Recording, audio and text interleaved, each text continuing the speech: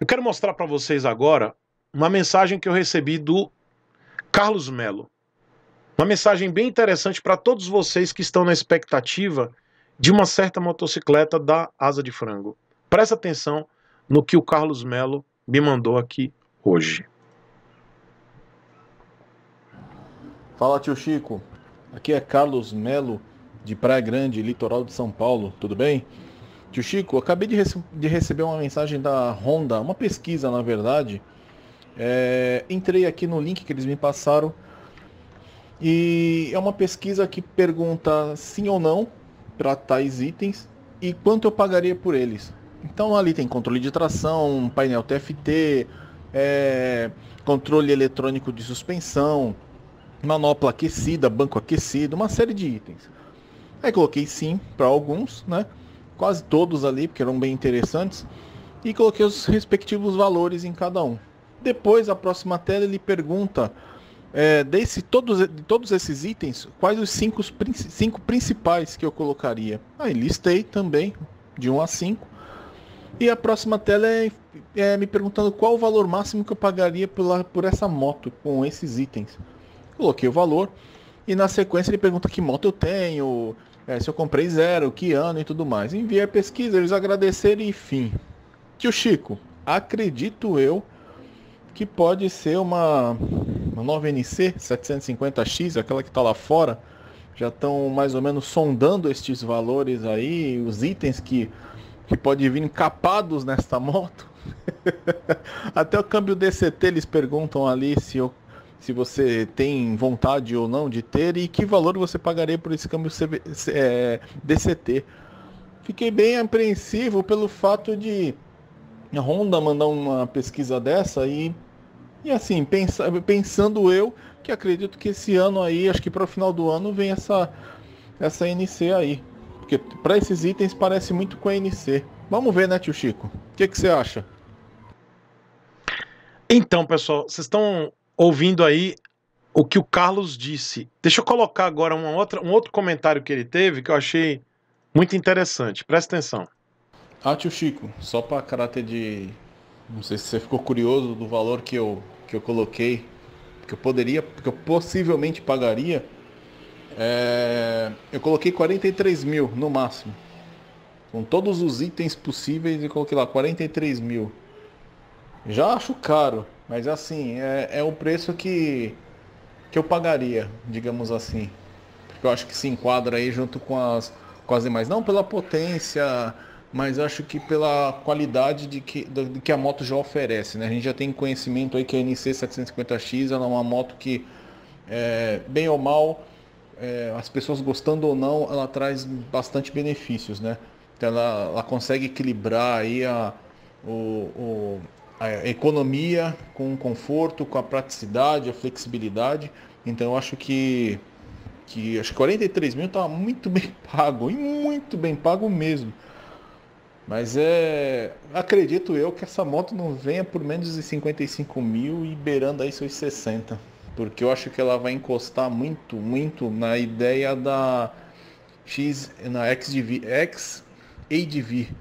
Eu acho que ela vai encostar muito na, na mesma pegada do que essa moto, que essa Maxi Scooter aí, por conta das tecnologias embarcadas. Tá bom?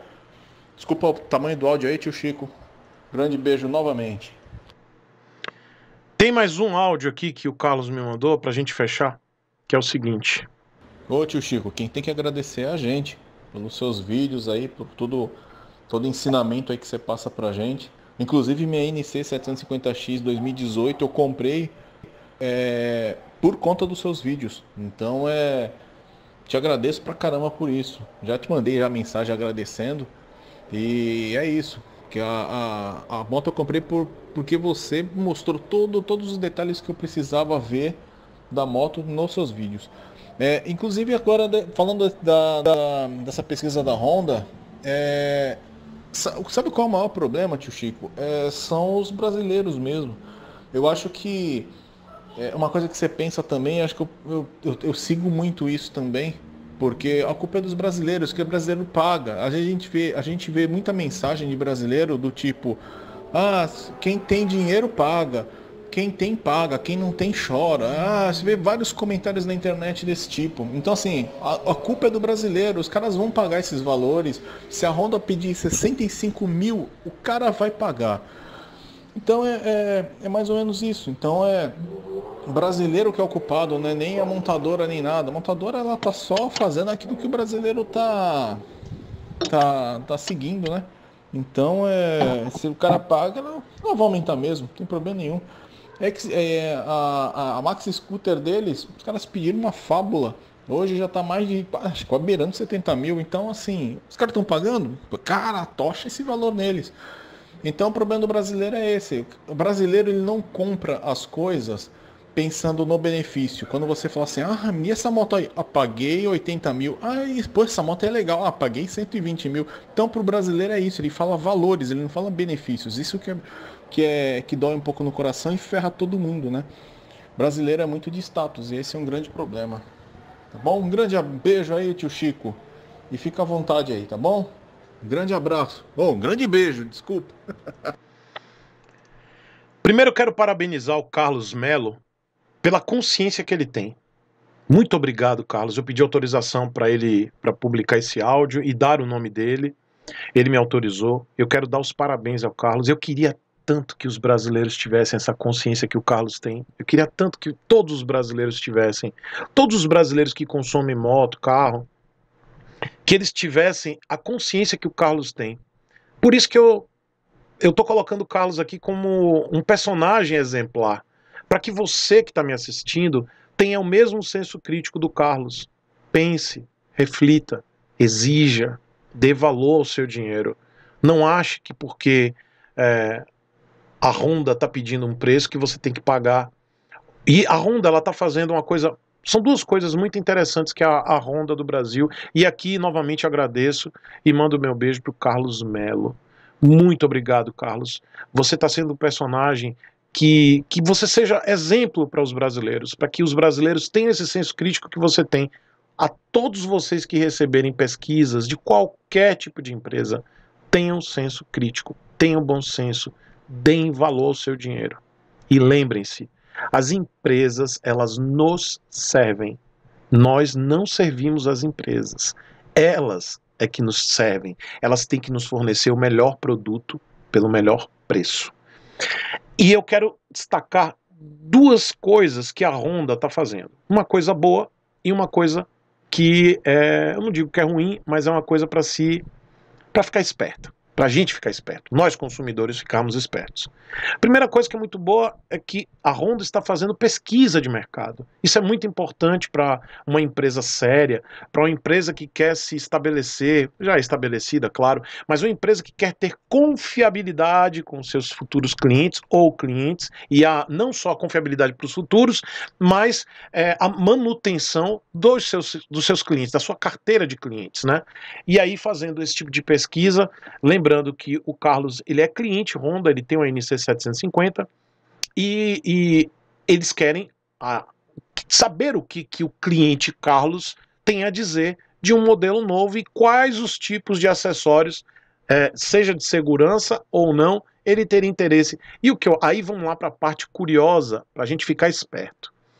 A Honda, ela espertamente e de forma muito uh, maliciosa coloca preço em cada acessório, que em tese, muitos desses acessórios, como controle de tração, ABS, nas duas rodas, são acessórios básicos em diversos países, essenciais para que a moto venda. Porque nesses países a população não aceita mais moto que não tenha controle de tração, e aí a gente fala a partir de uma certa cilindrada, tá? A gente não está falando de moto de baixa cilindrada. Mas quando a gente fala de moto de média alta, a população já não aceita mais moto sem controle de tração. Já é uma moto que não vale a pena.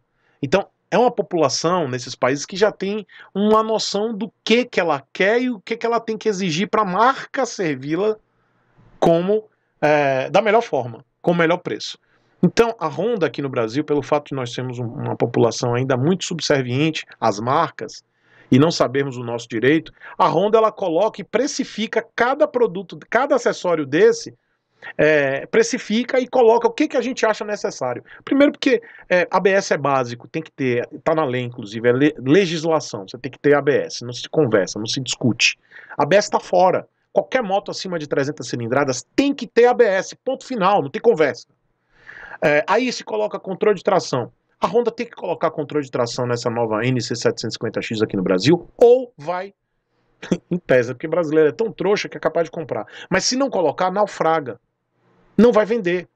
Mas ainda tenho cá minhas dúvidas que brasileiro é tão, tão trouxa que é capaz de comprar uma nova NC750X pelada sem controle de tração.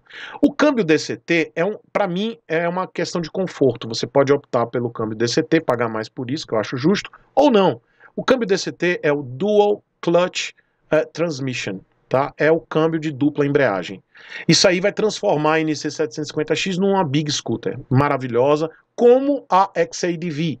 Né? A XADV e a, a NC750X lá fora tem a mesma mecânica, inclusive esse Dual Clutch Transmission, que é o câmbio DCT. Isso para mim é uma questão de conforto e opcional, não tem problema.